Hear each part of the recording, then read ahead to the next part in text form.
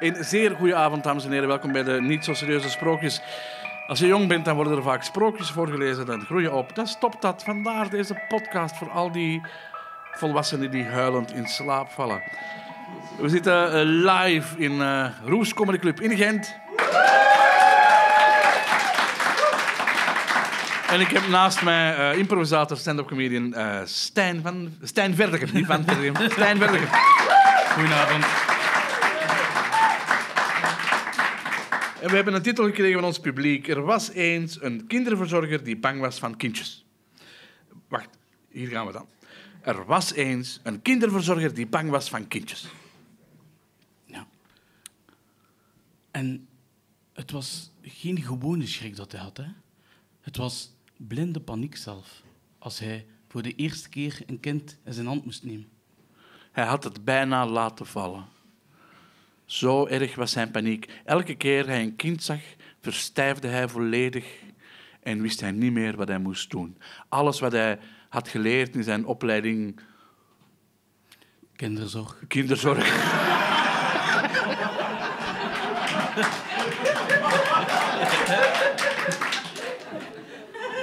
was hij plotsklaps vergeten. Ja, Hij wist zelfs niet meer welke opleiding hij gevolgd had. Ja hij, hij, hij verstijfde gewoon compleet. En hij wist ook niet van, als het kindje weende van, inderdaad, heeft het honger, heeft het dorst, heeft het verdriet. Hij wist het gewoon Heeft niet. het pijn? Heeft het liefdesverdriet. Heeft het zijn bokens niet bij? Zijn de mama en de papa aan het scheiden? Zijn de mama en papa dood?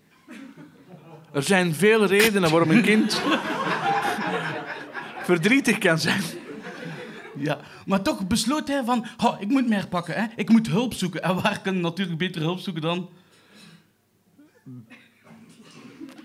Bij een hulpvaardige medemens. Zeer zeker. En daar kwam hij dan.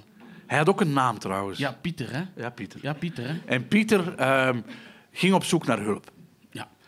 En hij wist niet voor waar, dat, hij- waar dat ik dat kon halen, dus hij zette een advertentie in de koopjeskrant van, hey, hallo, Ik, ik ben bang van kindjes. ja, hey, king, Ja, ja. Ja. Ja, het mocht niet veel kosten. eh. hij kreeg de vreemdste contacten. Van, hey, Hey, ik ben vrij deze avond. Avond. Kom jij langs? heb jij ook een kelder? Hele vreemde vragen.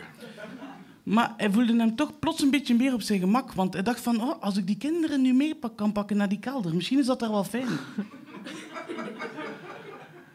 En ja, dat leek hem een topidee.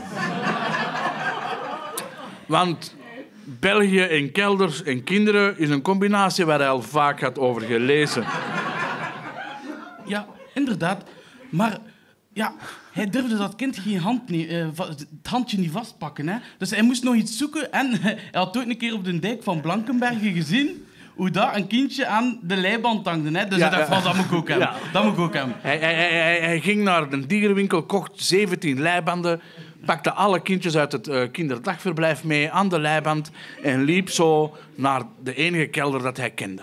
Ja, dus hij liep eh, door de straat eh, van de school. Dan ging hij naar rechts. Hij stak over. Hij is nog even gestopt voor een cola te want hij voelde hem een beetje flauwkes. Maar uiteindelijk kwamen ze toe aan de kelder.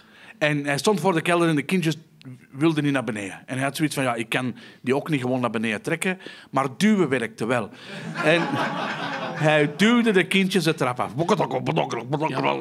Gelukkig was hij heel goed in wiskunde en had hij goed berekend hoeveel trappen, hoeveel eh, eh, schade dat kan toebrengen aan de hersentjes van de kindjes. Want als Fontanelke nog niet goed dicht is, dan moeten we opletten. Maar de kindjes waren allemaal levend en wel beneden geraakt. Ja, zeer zeker. En, en ze vroegen dan ook, Pieter, Pieter, Pieter, wat gaan wij hier doen in de kelder? Ja, zei Pieter, hier in de kelder gaan jullie mij verlossen van mijn angst voor kinderen. Ja, dat klopt. Want plots kwam de grote Stevino. De grote Stevino kwam achter vanuit de coulissen en hij zei van... Hallo, kindjes! Ik ben hier nu en ik zal jullie meester Pieter van zijn schrik afhelpen. En hij begon Pieter te hypnotiseren. Hallo, kijk in mijn ogen. eh. Pieter raakte volledig in hypnose. ik doe alles wat jij maar wilt. Zei Pieter. Ja. En dan zei de grote Stevino van, kijk, wat het beste helpt aan zenuwachtigheid, dat is exposure. Dus, als jij je ogen open doet, dan sta jij naakt voor alle kinderen. Uiteraard stond hij niet naakt, hij was in hypnose, onder hypnose. Maar hij kreeg de knip van Stevino en plots zag hij zichzelf naakt staan voor alle kindjes. en dat deed iets met hem. Ja, hij was een beetje verlegen.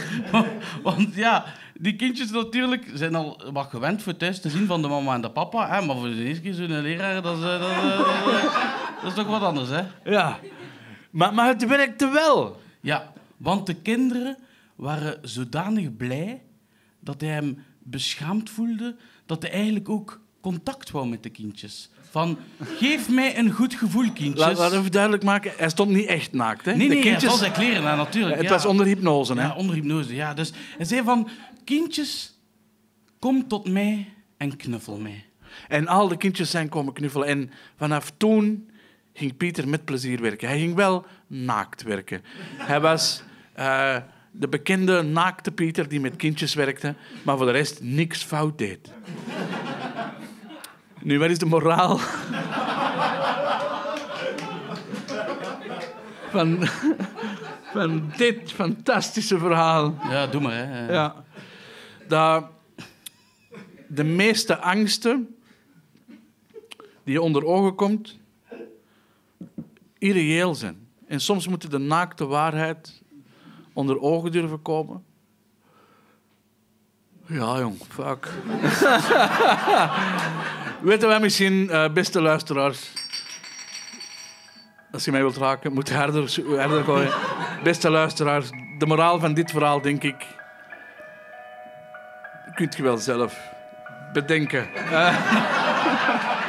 Slaap lekker.